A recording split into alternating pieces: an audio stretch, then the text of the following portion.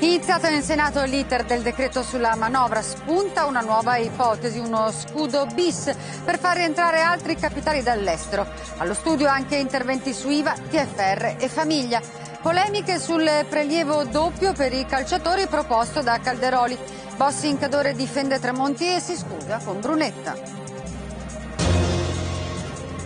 I mercati non apprezzano la tassazione delle transazioni finanziarie proposta da Merkel e Sarkozy nel vertice anticrisi. Anche stamani le borse asiatiche hanno il segno meno, mentre ieri quasi tutte le piazze hanno chiuso in negativo. Milano faceva eccezione con un più 27%.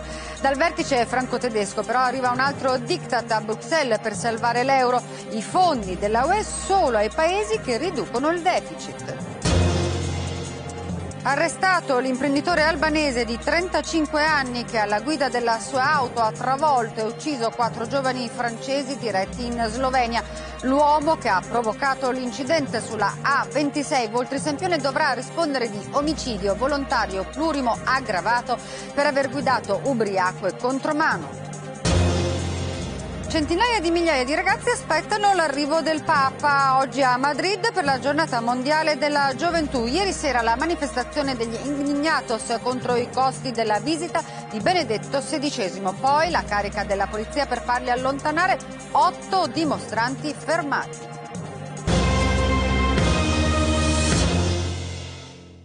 7.32, come sempre puntuali, una buona giornata da tutta la redazione del telegiornale. Allora, eh, ha fatto sicuramente eh, un po' scalpore vedere gli 11 senatori, davvero solo 11 senatori, ieri pomeriggio in aula eh, ad accogliere l'arrivo del decreto della manovra finanziaria. Era una, ehm, una, questione solo formale, lo si era detto, però evidentemente in questo momento eh, forse eh, avremmo gradito vedere un'aula un po' più piena. Comunque eh, l'iter del decreto è partito, il 23 comincerà appunto la discussione nelle commissioni, ma quello che è importante sottolineare è che eh, chissà come ci si arriverà a quella discussione del 23, perché ogni giorno ci sono nuove proposte, ci sono novità. L'ultima eh, sulla quale si sta discutendo in queste ore è eh, una sorta di nuovo scudo fiscale.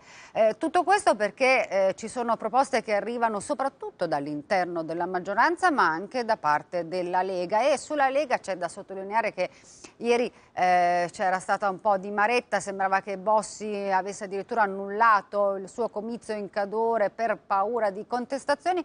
Ha parlato, sì, Bossi, in tarda serata, ma solo con i giornalisti. Allora adesso in ordine vi facciamo sentire che cosa è successo con Mila Cataldo e Lorenzo Morelli.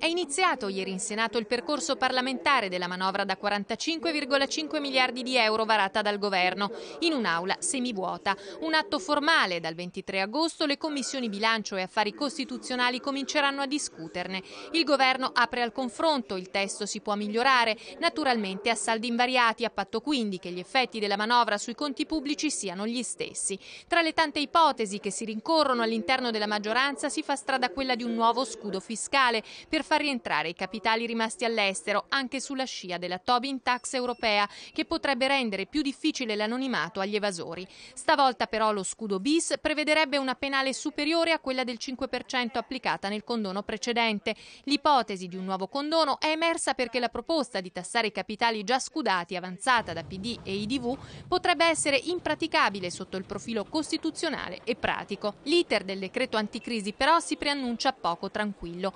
Pesano all'interno all'interno della maggioranza le richieste dei frondisti del PDL e i malumori leghisti, le istanze degli amministratori locali, ma anche le controproposte delle opposizioni. Berlusconi sarebbe pronto a rimodulare il contributo di solidarietà per i redditi sopra i 90.000 euro, fortemente avversato dai dissidenti del PDL e anche dall'UDC. Il Premier sarebbe disponibile all'inserimento del quoziente familiare, cioè a rimodulare la tassa in base al numero dei figli a carico.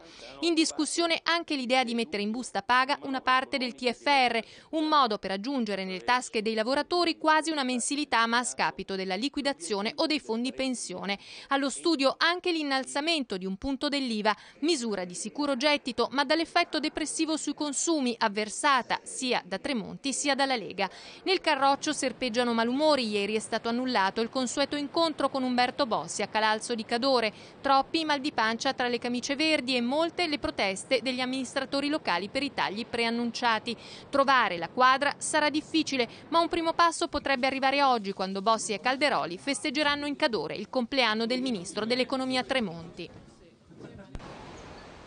Bossi annulla il comizio in Cadore, poi ci ripensa e parla. Non dal palco, ma direttamente con i giornalisti al termine di una cena privata con il ministro delle Finanze.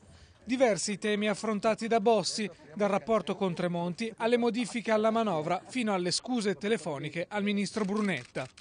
Tremonti ha detto il senatur si sente sicuro quando ci siamo noi, non si sente abbandonato in mezzo ai lupi. E come augurio di compleanno al ministro che oggi compie 64 anni, Bossi spera riesca a riposarsi perché bisogna ritornare in Parlamento e riprendere in mano la manovra. Poi il leader del Carroccio ha affrontato il tema della crisi e le prossime mosse del governo. Sono ottimista, ha detto, perché vedo che alla fine troviamo sempre la via possibile che ci fa andare avanti e fa sapere di aver chiamato Berlusconi. Stiamo facendo delle cose per tenere in piedi il paese, ha aggiunto. Il punto debole della manovra sono gli enti locali. Umberto Bossi affronta quindi le possibili modifiche alle misure correttive da 45,5 miliardi che il governo ha predisposto su richiesta dell'Europa. Dopo aver salvato le pensioni, ha aggiunto, si può trovare una via più completa per gli enti locali. Sulle ipotesi di un aumento dell'IVA ha invece confermato il suo scetticismo. Infine, dopo averlo definito nano di Venezia al comizio a Ponte di Legno, Bossi ha telefonato al suo collega ministro Renato Brunetta per scusarsi. Io stimo Brunetta, a volte le parole scappano, la politica in certi momenti si scalda. Le stesse incertezze, le stesse divisioni che ritroviamo nella politica italiana si ritrovano in qualche modo anche a livello europeo. Ne è la dimostrazione la reazione che stanno avendo i mercati al vertice fra Angela Merkel, il cancelliere tedesco, e Nicolas Sarkozy, il presidente francese, solo martedì.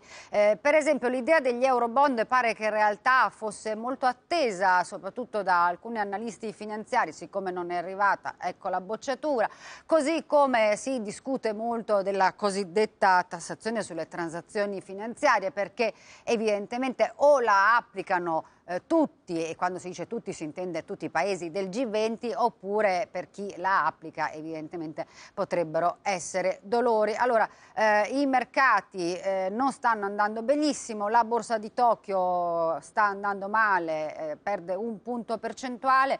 Filippo Barone ci fa il punto della situazione. Obama non ha fatto il miracolo. L'iniezione di fiducia data dal presidente americano con il piano per il rilancio di infrastrutture e occupazione ha dovuto fare i conti con il meno incoraggiante incontro fra la cancelliera Merkel e il presidente francese Sarkozy, che ha partorito altre regole e altre tasse. In un mondo globalizzato, l'euforia e angoscia volano da Parigi a New York alla velocità della luce. Così l'indice Dow Jones, che aveva inaugurato una giornata di speranza, è ripiegato trascinato dal pessimismo europeo, chiudendo alla fine alla pari, a un più 0,03%. Dicevamo che le borse europee hanno archiviato un'altra giornata all'insegna della preoccupazione. Questo è il listino a fine giornata.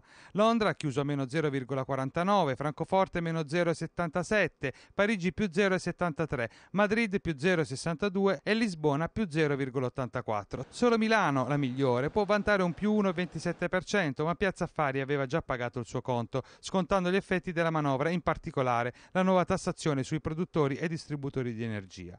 Il vertice franco-tedesco tedesco ha bocciato gli eurobond e partorito l'idea di introdurre la Tobin Tax, una tassa sulle transazioni finanziarie dell'Eurozona. La sola ipotesi si è abbattuta sulle banche più internazionalizzate con una raffica di vendite. In Italia a farne le spese è stata Unicredit che ha lasciato sul campo l'1,62%. Sono delle novità per quanto riguarda l'uomo, l'imprenditore albanese che sabato contro mano sull'autostrada ha eh, ucciso quattro giovani francesi. È stato arrestato con l'accusa di omicidio volontario plurimo aggravato, ma la cosa ancora più interessante, se così possiamo dire, è che secondo il pubblico ministero stava guidando apposta contro mano in autostrada in qualche modo per una sorta di prova di coraggio. Tiziana Stella. Con l'accusa di omicidio volontario è stato arrestato Ilir Bedi, l'imprenditore 35enne albanese che sabato scorso a bordo del suo SUV ha travolto ed ucciso quattro ragazzi francesi sulla A26 Voltri Sempione. L'uomo guidava contromano, ubriaco e a forte velocità quando ha centrato l'Opel Astra su cui viaggiavano i cinque turisti diretti in Slovenia. Solo uno di loro è sopravvissuto allo spaventoso frontale. Ilir Bedi e la ragazza che era con lui sono rimasti completamente illesi. Inizialmente l'imprenditore accusato di omicidio colposo era stato lasciato a piede libero, suscitando l'indignazione dei parenti delle giovani vittime. A Ferragosto anche i ministri della giustizia e dell'interno intervengono sulla vicenda promettendo l'introduzione del reato di omicidio stradale per chi guida sotto l'effetto di droga o in stato di ebbrezza. Oggi la svolta dell'arresto dell'uomo determinata per gli inquirenti dall'evoluzione del quadro probatorio. Prima del tragico impatto almeno 13 automobilisti erano riusciti solo per un soffio a schivare il bolide. Tutti hanno testimoniato di aver lampeggiato e suonato il clacson per avvertire il conducente che viaggiava contromano. Inoltre, secondo il GIP, il grado di ubriachezza non era tale da compromettere le capacità intellettive, piuttosto, scrive il giudice, Bedi era cosciente di guidare un vero bisonte della strada che in caso di incidente avrebbe causato pericolo più per altri che non per lui che era a bordo del SUV. Anche la precedente condanna per guida in stato di ebbrezza e l'aggressione ad un altro automobilista hanno pesato nella decisione decisione dell'arresto di un soggetto descritto come irascibile e violento. Trasferiamoci in Siria adesso. Per giorni la città portuale di Latakia è stata bombardata. Eh, quando l'ONU si è fatta sentire, ha chiamato Assad, il presidente siriano, lui ha risposto le operazioni militari sono finite. Sì, intanto però restano almeno 42 cadaveri sul campo. Carla Rumor. Stop alla repressione e lo stesso presidente Assad a comunicarlo direttamente al segretario generale dell'ONU Ban Ki-moon con una telefonata. Le operazioni dell'esercito siriano contro i manifestanti cesseranno, basta anche con gli arresti di massa. L'annuncio del presidente arriva poche ore dopo la notizia che l'Alto Commissariato dell'ONU per i diritti umani si apprestava a chiedere alla Corte Penale Internazionale l'apertura di un'inchiesta contro la Siria per la grave violazione dei diritti umani che giornalmente avviene nel paese. Sembra che anche Stati Uniti ed Unione Europea stessero per chiedere al presidente Assad di farsi da parte, pena nuove sanzioni.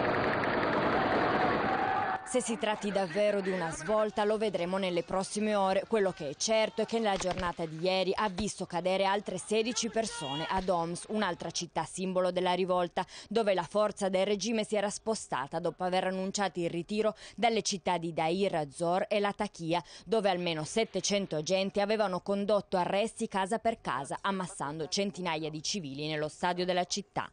Con l'obiettivo di dare un segnale di ritorno alla normalità, il Ministero dell'Istruzione dell'istruzione siriano ha annunciato che si tornerà sui banchi di scuola il 18 settembre prossimo, ma gli attivisti ricordano che in molte località gli edifici scolastici sono ancora usati come carceri temporanee, dove sono ammassati migliaia di civili arrestati in cinque mesi di repressione.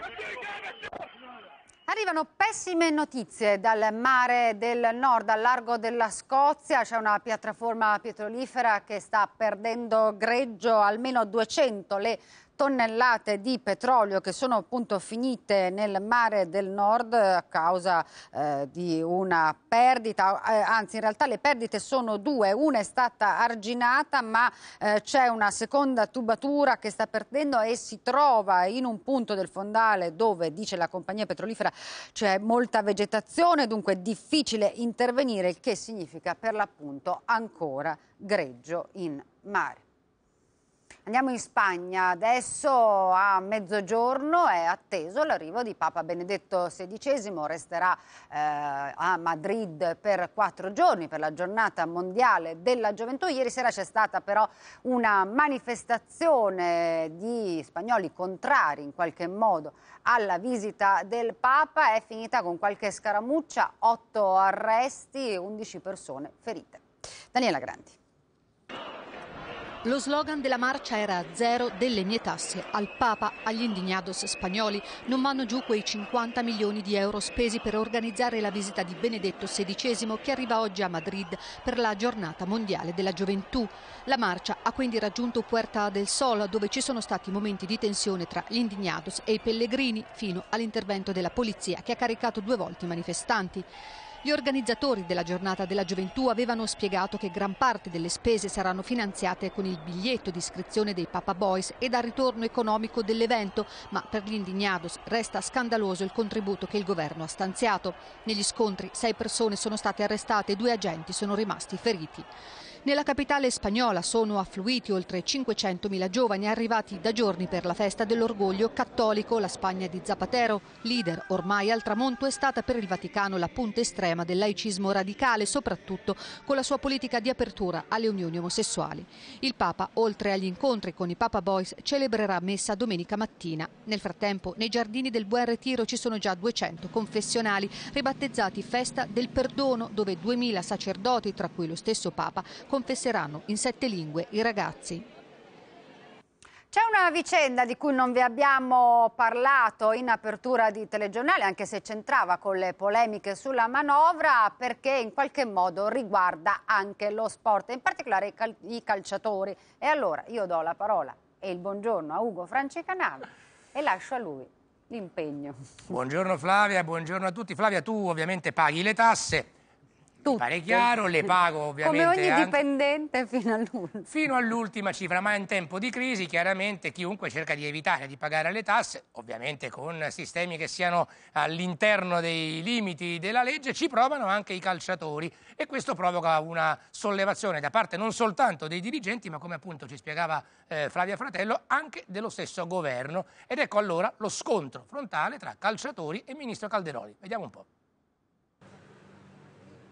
E scontro tra l'asso calciatori ed il ministro Roberto Calderoli. Sul mondo del pallone cade la tegola della supertassa riservata alle classi medio-alte ed i campioni si ribellano. Il contributo di solidarietà per chi guadagna più di 90.000 euro mette le mani nel portafoglio dei giocatori che avendo un contratto di lavoro subordinato non possono sfuggire alla manovra finanziaria Salva Italia. Ma non tutti la pensano allo stesso modo. Chi di loro ha infatti un contratto sullo stipendio al netto sostiene che i complessivi 50 milioni a carico della Serie A debbano essere versati esclusivamente dai club. Il richiamo al buonsenso, la tassa pagatela voi, rivolto ai calciatori dall'amministratore delegato del del Milan Adriano Galliani non sembra avere effetto, così come l'invito ad un gesto di responsabilità partito da Rocco Crimi, sottosegretario alla presidenza con delega allo sport. E allora nella diatriba entra a piedi uniti il ministro della semplificazione Roberto Calderoli. Se lo pagano tutti gli altri, ancora di più devono pagarlo loro e se minacciano lo sciopero, visto che a livello dei politici abbiamo raddoppiato quel prelievo, raddoppiato lo applicheremo anche ai calciatori. Immediate le reazioni. Stupidaggini, taglia corto Leo Grosso. Il vicepresidente del sindacato calciatori rinvia al mittente le accuse sui presunti vizi della casta, già sul piede di guerra per il rinnovo del contratto collettivo, specificando che bisogna analizzare il tipo di accordo di ogni singolo giocatore. Insomma, è muro contro muro, ma tutto il mondo è paese. Nella Liga spagnola sono sempre a rischio le prime due giornate di campionato. Venerdì nuovo incontro per evitare lo stop deciso deciso da Messi, Cristiano Ronaldo e compagni come risposta al mancato pagamento degli arretrati. Liga a rischio, ma si è giocato invece per quanto riguarda la Supercoppa di Spagna, era il ritorno, si partiva dal 2-2 del Santiago Bernabeu, vediamo com'è andata, vediamo l'ultimo dispiacere di Guardiola per Mourinho. E ancora Barcellona piglia tutto, i catalani alzano al cielo la Supercoppa di Spagna, Real Madrid battuto 3-2 al Camp Nou. Gol e spettacolo non sono mancati proprio come nella gara di andata, nonostante il buon avvio del Real al quattordicesimo il Barcellona passa in vantaggio. Splendido assist di Messi per Iniesta che solo davanti a Casillas con un tocco sotto scavalca il portiere del Real. La formazione di Mourinho reagisce subito ed in sei minuti trova il pareggio con Cristiano Ronaldo pronto a deviare sotto rete un tiro di Pepe. Poi ancora Ronaldo al 25 centra un palo, ma allo scadere il Barcellona ritorna in vantaggio con Messi, servito di tacco da Piquet. Nella ripresa, densa di interventi piuttosto duri, non cambia risultato fino al 36esimo quando al termine di un'azione confusa in aria Benzema piazza la girata. È 2-2 come domenica scorsa al Santiago Bernabeu, un minuto dopo fa il suo ingresso in campo nel Barcellona il neoacquisto Fabregas. Quando sembra che l'incontro sia ormai destinato a vivere i tempi supplementari, ecco il guizzo del Barcellona e Adriano a crossare dalla destra e Messi a spedire la palla ancora alle spalle di Casillas. Il primo trofeo della stagione va ai catalani, mai stanchi di vincere. Poi finisce in rissa con Marcelo espulso per un fallaccio sullo stesso Fabregas, mentre Ozile e Viglia si scambiano colpi proibiti. Nel finale concitato Mourinho viene anche pizzicato dalle telecamere mentre cerca di mettere un dito nell'occhio a Tito Villanova, allenatore in seconda di Pep Guardiola. Giocano anche le squadre italiane per i preliminari, per i playoff di Europa League, sono impegnate Roma e Lazio, ma intanto si sta per concludere uno dei tormentoni dell'estate, quello legato ad Eto'o. Ci siamo vicini. Le parole di German Kachenko, uomo mercato dell'Anshi, al termine di un'altra convulsa giornata di trattative, servono solo a confermare le voci circolate nei giorni scorsi. A ore, forse a giorni, Samuel Eto'o lascerà l'Inter per accasarsi nella Premier League russa. Mancano i dettagli, le cifre definitive, ma tutto lascia credere che si chiuderà per 29 milioni di euro nelle casse nerazzurre e 20 milioni di euro netti per tre stagioni all'attaccante camerunense. Si avvia così alla chiusura una tormentoni dell'estate, quello che di fatto bloccava le strategie di mercato dei nerazzurri, che non dovrebbero cedere alle lusinghe del Manchester United per Snyder e intanto incassano il rinnovo di Lucio fino al 2014. In entrata a questo punto è chiaro, serve una punta. Già, ma quale? La rosa dei nomi non è poi così folta, pare delinearsi una vera e propria corsa a tre. Lavezzi, Tevez, Forlan. Il nome preferito da Massimo Moratti resta quello dell'argentino del Manchester City, ma il costo del cartellino superiore ai 40 milioni di euro non pare alla portata del portafoglio interista. Si prova a lavorare sull'opzione del prestito con obbligo di riscatto, formula poco gradita all'ex Roberto Mancini. È complicata anche la strada che porta all'altro attaccante della selezione Ezechiel Lavezzi. De Laurentiis non intende schiodare dalla richiesta di 31 milioni di euro clausola rescissoria prevista sul contratto del Pocio. Se sia i Citizens che il Napoli non si muoveranno dalle proprie posizioni, ecco pronta però la pista che porta Diego Forlan, attaccante di 32 anni dell'Atletico Madrid che anche per ragioni anagrafiche costa decisamente meno degli altri sogni di mercato nerazzurri. Occhio però al possibile outsider, quel Rodrigo Palacio tanto caro al tecnico Gasperini che per 15 milioni potrebbe anche lasciare il Genoa.